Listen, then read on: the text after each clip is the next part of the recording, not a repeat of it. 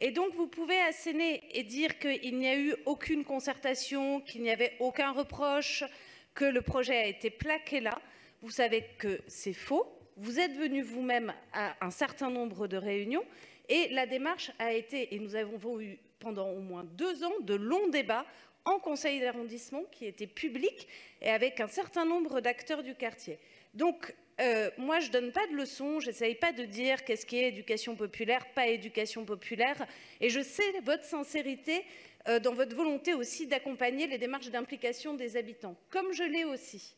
Mais du coup, ne, réécrivez pas euh, l'histoire par rapport à ce projet, ce n'est pas aider, et ce n'est pas les aider, et ce n'est pas aider un quartier.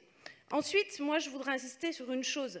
Les plateaux sauvages ont une fermeture administrative de la préfecture depuis novembre dernier. Moi, j'aimerais que vous soyez avec nous pour demander à la préfecture pourquoi est-ce que 3000 mètres carrés d'équipements publics en quartier populaire sont aujourd'hui encore fermés, malgré le travail absolu des services, et là je les remercie, je remercie la DAC, je remercie la SLA, qui euh, euh, répondent et fournissent des pages et des pages à la préfecture. Et donc j'en profite aussi, je ne sais pas si le représentant ou la représentante du préfet est là, pour demander que nous puissions avoir enfin une réponse et que cette fermeture soit levée pour que le projet puisse réouvrir. Parce que bien sûr aujourd'hui si vous nous dites ah il n'est pas ouvert sur le quartier, c'est pas qu'il n'est pas ouvert sur le quartier, il n'est pas ouvert tout court. Enfin, je donnerai quand même quelques éléments.